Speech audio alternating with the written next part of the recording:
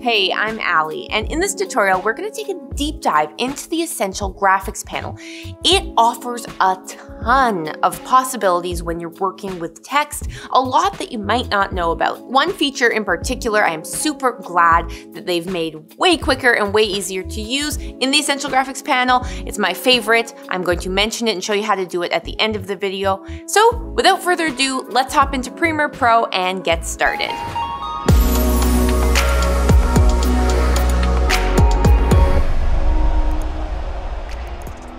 Okay, so we're in Premiere Pro and I'm working on a yoga project for a client, so I figured I would use this as an example to show you some of the awesome things that we can do with the Essential Graphics panel.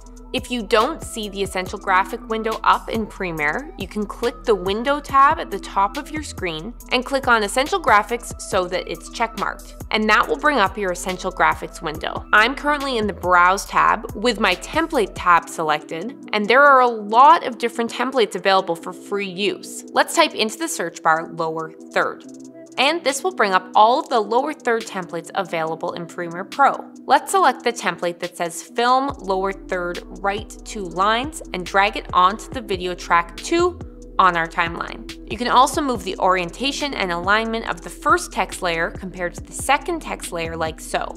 I'll delete that template off of the timeline and we'll look at another template option. Let's select the classic title template and drag it onto our timeline on the V2 track. With our cursor over top of those layers on our timeline and the graphic selected, you can see in the Edit tab here each of the shape and text layers within this graphic. If you click on one of these eyeballs, you can turn that layer off like so. We'll turn these layers back on for now. To edit the text, we can select our text tool, select the text in our program window, and change it to say whatever we'd like. With that text selected, we can change the font type in our Essential Graphics window by clicking on the text drop-down menu and choosing whichever text you prefer. We can increase or decrease the size of the text by using this slider, or selecting the text size that currently for me shows as 61, and I'll change it to 100. I'll select the smaller text layer, change the font style and size, and with it still selected, under Appearance, we can click on the fill box and change the color of the text. So I'll choose a dark blue for the text, select the hex code and press Command C on my keyboard or Control C to copy it so I can make the top text layer the same color. Okay, now I'll select the top text layer, click on the fill box again, and where the hex number is, I'll select the current code and press Command V on my keyboard or Control V to paste that blue hex number. Okay.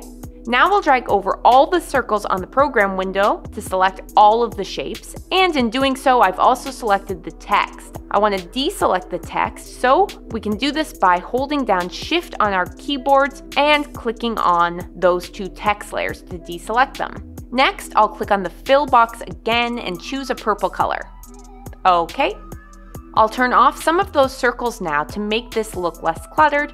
Next, you can select all of those circles and text and drag it wherever you'd like on screen.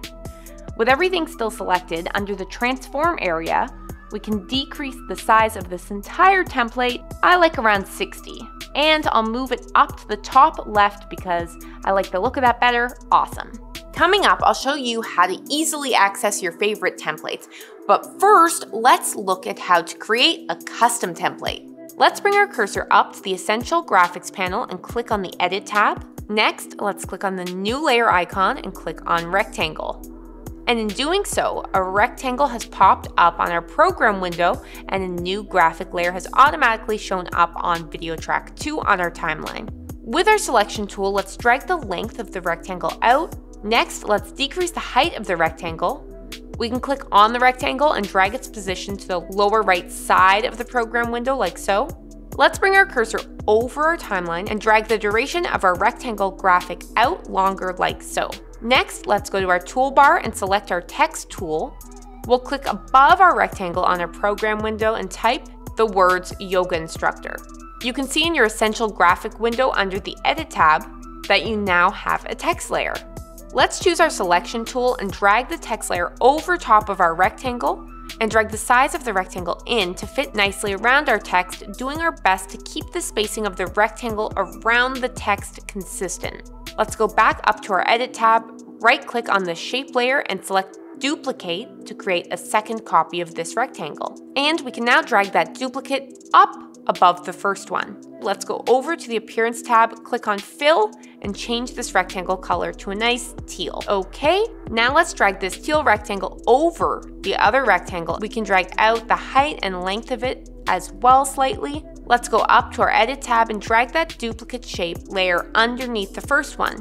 Check out the program window. Now, the teal rectangle is behind the other two graphics. We can adjust the position of that rectangle either by moving it with our selection tool or by moving around the position under our Align and Transform tab like so. For organization purposes, let's go up to our Edit tab and rename this text shape by right-clicking on it, click Rename, and naming it Purple Rectangle. We'll right-click on the second shape, click Rename, and call it Blue Rectangle. Now we can easily identify which layer is which rectangle.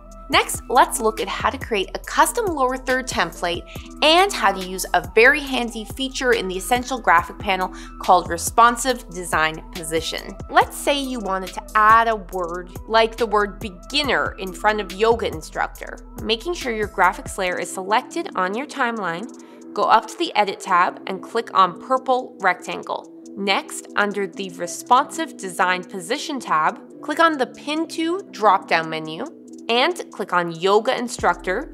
By pinning your rectangle to the Yoga Instructor layer, when we add another word to this title, increasing the length of it, the purple rectangle will increase in length as well. We have to do one more thing to make sure this works, and that is to click on the center of this position icon here to pin this layer to the center of the Yoga Instructor layer, and this will make each side around this square blue. Great. Next, let's click on the blue rectangle layer and again pin that to Yoga Instructor and select the center of the position icon here. With our selection tool, let's drag over these three assets and drag them more to the middle of the program window like so. Select our type tool, bring it to the beginning of this text and clicking just in front of the Y in yoga, start typing the word beginner. And notice, as you extend the length of this text title, the length of both rectangles also extends because they're both pinned to the yoga instructor text. Next, let's add some movement to our lower third title by adding some keyframes to have it come on screen and go back off screen. And we're going to use responsive design time to seamlessly adjust the duration of the time that your lower third title is on screen. You'll see what I mean. Let's hop back in Premiere Pro. Now let's make sure our cursor is at the beginning of our text graphic. Making sure that the text layer is selected, let's hit the right arrow key on our keyboard 10 times so that we move the cursor over 10 frames. Go up to our Effect Controls window, click on the position toggle so that you activate a keyframe, Great, now hit the down arrow on your keyboard to bring your cursor to the beginning of the text layer on your timeline. We'll go back up to the position, drag the horizontal axis to the right so that it drags this lower third title off screen like so. Now let's press the spacebar to play that through on our timeline and check out what it looks like. Great, that's looking really good. Now that you get the idea of how to key your graphic layer onto your screen, I'll speed up me doing the same thing to the end of the graphic layer so that this graphic animates off screen. Great.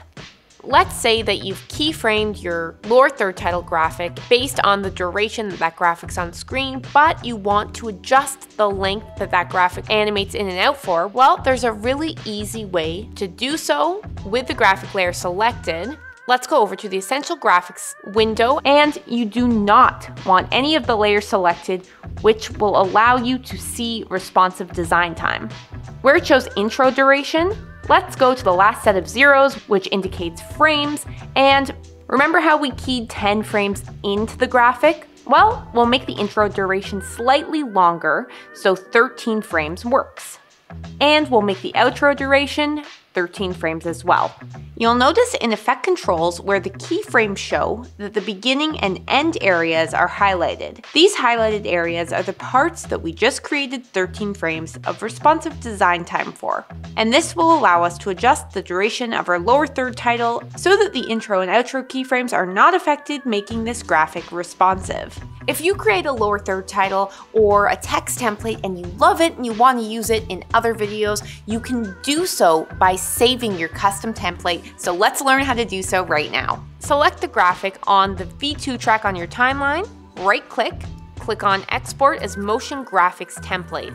And where it says name, you can rename this graphic whatever you'd like. I recommend that you give it a name that if you were to see would automatically indicate to you and remind you of what this graphic looks like. So I'm going to call this graphic double rectangle lower thirds. At the bottom of this window here, you can add in a few keywords that if you were to search would bring up this motion graphic template. So I'm going to put in the keywords yoga, lower thirds title, and rectangle.